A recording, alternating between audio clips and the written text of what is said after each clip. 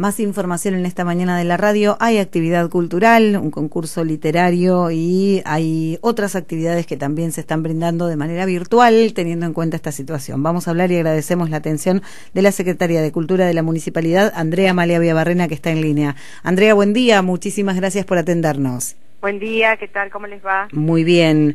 Eh, Andrea, bueno, adaptándose a las circunstancias, hay algunas actividades que se están pudiendo realizar, en este caso también el lanzamiento de un concurso literario y algunas otras actividades. Contanos cómo se está trabajando.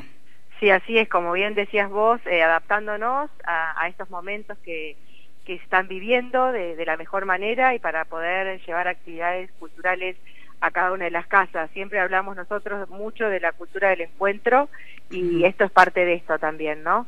Es el primer certamen literario regional de Guajó 2020 que se llama Las letras nos unen, donde cada uno puede escribir desde su casa.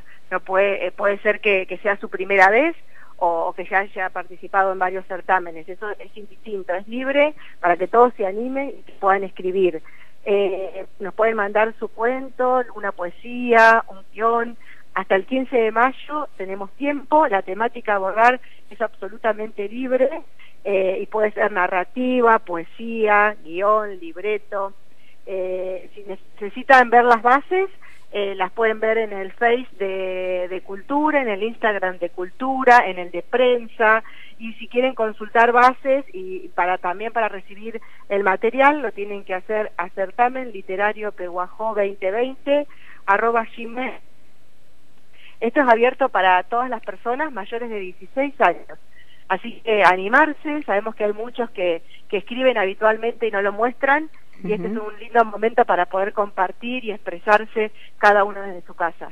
Bien, tema libre, decías. Eh... Tema libre, sí, sí. Bien. Eh, bueno, eh, no es la única actividad, digo, de alguna manera las actividades que se realizan habitualmente en cultura se van adaptando, al menos algunas, eh, también para poder llegar a la casa de la, de la gente a través de las redes.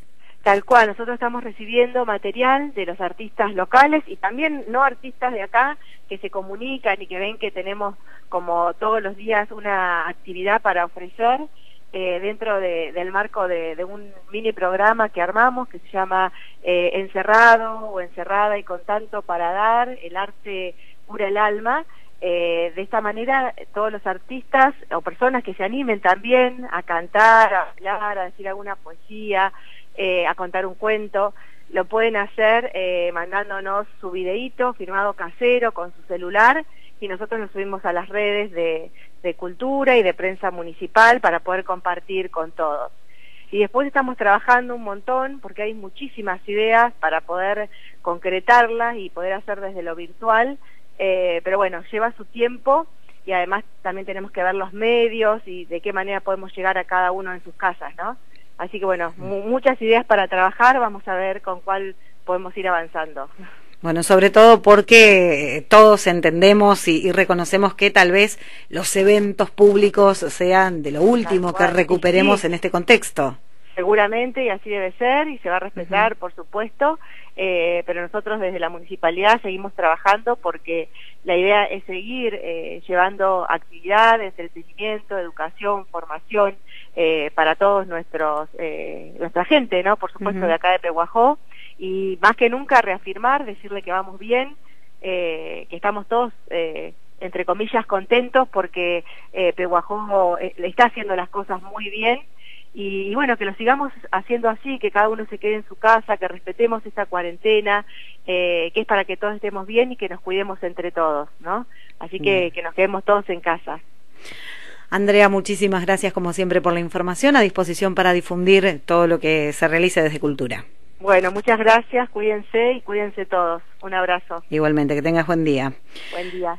Andrea Malevia Barrena, secretaria de Cultura de la Municipalidad, concurso literario eh, para trabajar desde la casa y también algunas actividades que se están proponiendo a través de las redes sociales para acompañar esta cuarentena.